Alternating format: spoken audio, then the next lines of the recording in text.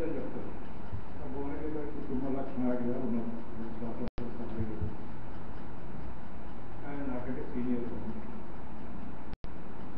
ఆయన ఇంకో ఐదుగురు మిత్రులు కలిసి పంతొమ్మిది వందల నలభై ఎనిమిది ఆగస్టు పదిహేడు నాడు పదిహేను ఆగస్టు నాడు భువనగిరి గుట్ట మీద జెండా ఎగరేసారు జాతీయ జెండా ఎగరేసారు అప్పటికి ఇంకా ఇది భారతదేశంలో కలవలేదు దాని మీద ఎప్పటికీ వీళ్ళని అరెస్ట్ చేయాలనే ఆలోచనలో ఉన్నారు.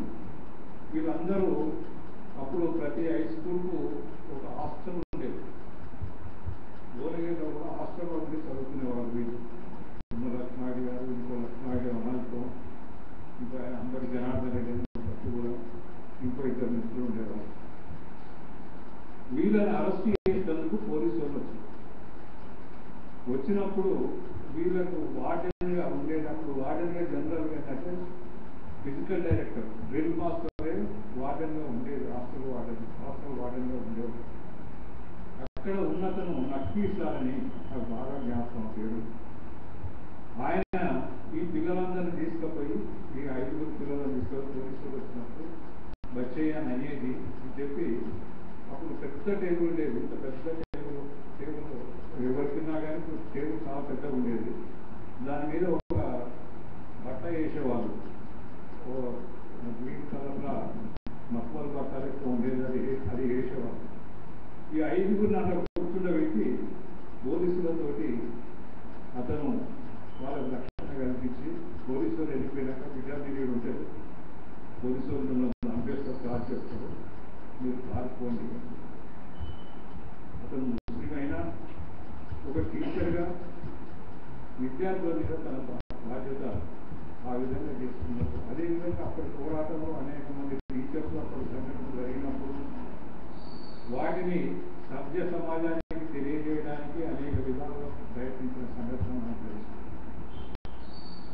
ఆ తర్వాత కాలంలో కూడా ఇవాళ ఈయనకి వచ్చినాక నాకు తుకారామయ్య గారు ఉపన్యాసంలో ఇక్కడ నేను ఇదివరకు వచ్చినప్పుడేమో ఒకసారి మెడికల్ మెడికల్ దాని మీద జరిగినప్పుడు రాజా రాజా రాజారెడ్డి గారు కానీ వీళ్ళందరూ మాట్లాడినప్పుడు వాళ్ళు చెప్పారు హైదరాబాద్ యొక్క మెడికల్ విధానం ఏమిటి?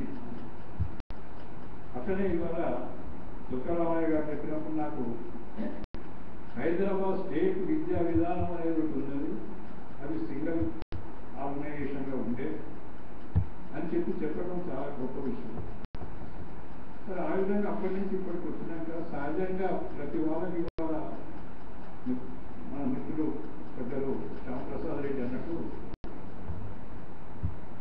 ఇవాళ సమాజంలో ఎవరు కూడా ఊళ్ళో ఉండలేరు గెస్టెడ్ ఆఫీసర్లు కూడా ఉండలేరు మండల డెవలప్మెంట్ ఆఫీసర్లు ఉండలేరు ఎవరు ఉండలేరు ఉండని రోజులలో ఒక పంతులనే ఉండాలని ఎందుకు అంటున్నారు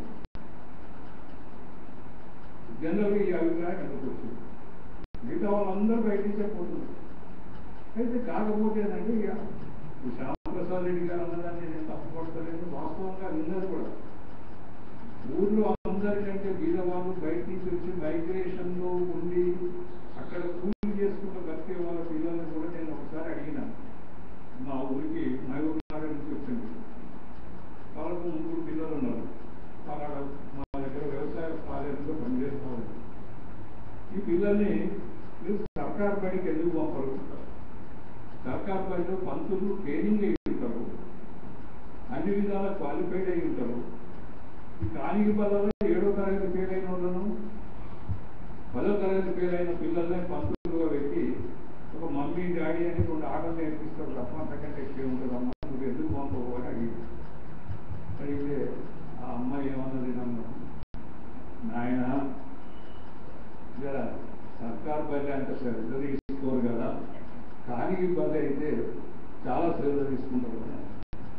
అయితే నేను ఎందుకు చెప్తున్నా ఈ మాట ఎందుకు చెప్పాల్సి వచ్చిందంటే ఒక విధమైన దుష్ప్రచారంతో వ్యవస్థను నాశనం చేసినందుకు సర్కారు బయట చదువు చెప్పరు ఇక్కడ క్వాలిఫైడ్ టీచర్స్ ఇక్కడ ఉన్న వాళ్ళంతా క్వాలిఫైడ్ వేరే అక్కడ ఆ ఊర్లో ఆ స్కూల్ పెట్టినోడు మెట్రికులేట్ పాస్ కాడు. ఆ దగ్గర బంధువులు చాలా మంది ఒక లిటిల్ ఫ్లవర్ లేకపోతే పెద్ద పేరు పెడతాడు మమ్మీ డాడీ అని పేరు చెప్తాడు.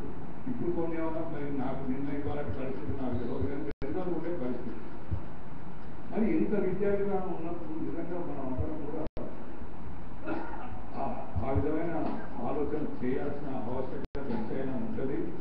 దాన్ని దాంతో పాటు అందరూ ఉద్యోగస్తులు కూడా పనిచేస్తే బాగానే ఉంటుంది. శ్యామ్ శ్యామ్ ప్రసాద్ రెడ్డి వస్తుంది నేను ఒక మాట చెప్తా. శ్యామ్ ప్రసాద్ రెడ్డి ఇంజనీర్లను తన సైట్ మీద ఉంచుండొచ్చు కానీ ఇంజనీర్ భార్య పిల్లలు ఉంచలేదు కదా ఉంచాం సరే, వారానికి ఐదు రోజులు చెప్తారు.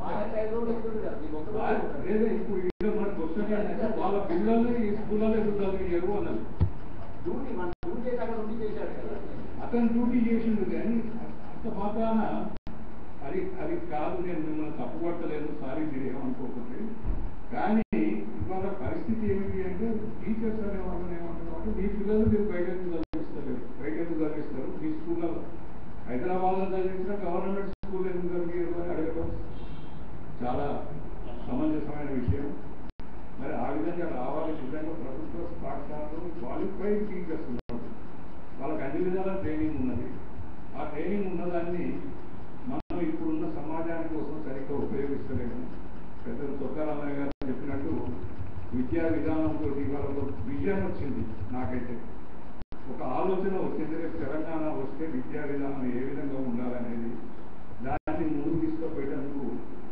ఇప్పుడు ఏదో ఇరవై మూడు సంఘాలు ముప్పై మూడు సంఘాలు అన్నారు ఈ ముప్పై మూడు సంఘాలలో కూడా ఒక ఐక్య వేదిక ఎక్కడైనా పెట్టి తెలంగాణ పేరు మీద తెలంగాణ ఐక్య వేదిక టీచర్స్ యూనియన్ అని కనుక పెట్టగలిగితే మీరైతే ప్రయత్నం చేయండి కానీ కానీ ఎవరు చేసే ప్రయత్నం వాళ్ళు చేస్తారు ఎవరు కూడా ఎదుటి ఇంకా నువ్వు ఇట్లా చేయమని చెప్పి చెప్పడం సమంజసం కాదు.